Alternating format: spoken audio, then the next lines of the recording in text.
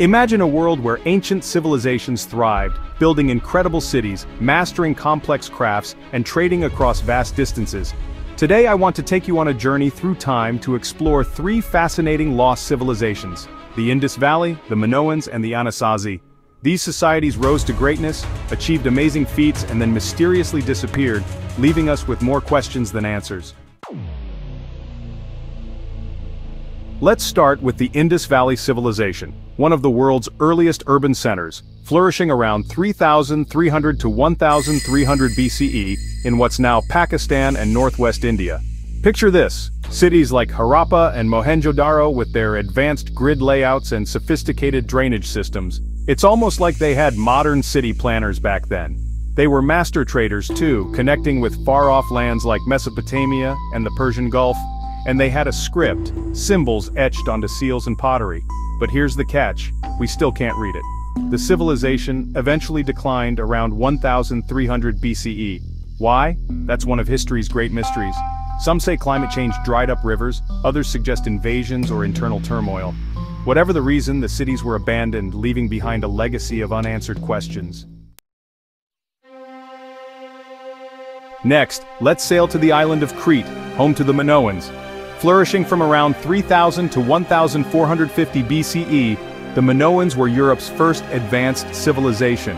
Imagine the stunning palace of Knossos, a multi-story marvel filled with vibrant frescoes showing everything from religious rituals to bull-leaping athletes. They were skilled sailors and traders, spreading their influence across the Mediterranean. The Minoans had not one but two writing systems, Linear A and Linear B, Linear B was an early form of Greek, but Linear A remains an enigma. Their civilization was steeped in art, culture, and religion, with a particular focus on goddess worship. But then, around 1450 BCE, their story took a tragic turn. A massive volcanic eruption on the nearby island of Thera likely wreaked havoc on Crete, causing tsunamis and ash fallout.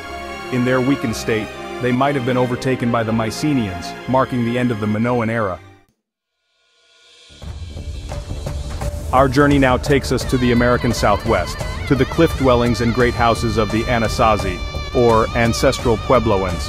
From around 1200 BCE to 1300 CE, they built incredible stone and adobe structures in places like Mesa Verde and Chaco Canyon. Imagine living in a cliffside village with advanced masonry skills that allowed them to create multi-story homes in the most challenging terrains. The Anasazi were not just architects, they were also skilled farmers, managing to grow crops like corn, beans, and squash in a dry, challenging environment. And get this, they were astronomers too. Their structures were aligned with celestial events like the famous sun dagger at Fajada Butte, which marks the solstices. But around 1300 CE these great communities were abandoned. Why did they leave? It seems a combination of prolonged droughts, resource depletion, and possibly social strife forced them to migrate. They didn't vanish entirely, but evolved into the modern Pueblo peoples. So what do these civilizations teach us? Despite their incredible achievements, they remind us of how fragile societies can be, especially in the face of environmental challenges and other external pressures. Their stories are like puzzles with missing pieces, and that's what makes them so intriguing.